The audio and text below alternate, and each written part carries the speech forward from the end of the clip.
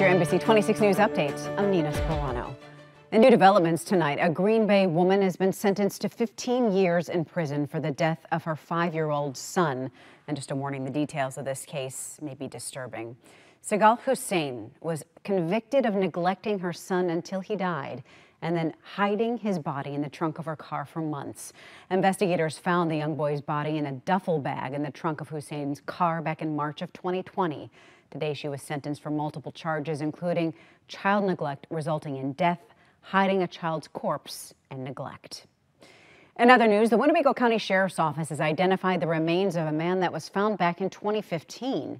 The man has been identified as Roland Klung of Oshkosh.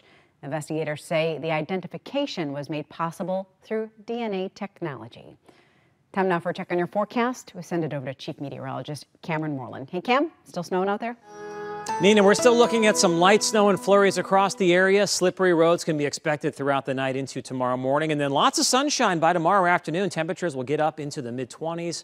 Warmer than today, but still cold. We'll get more snow on Thursday. Right now, it looks like about one to three inches across most of northeast Wisconsin. A little bit of a break Thursday night and Friday morning, and then potentially even a bigger snowfall Friday night into Saturday.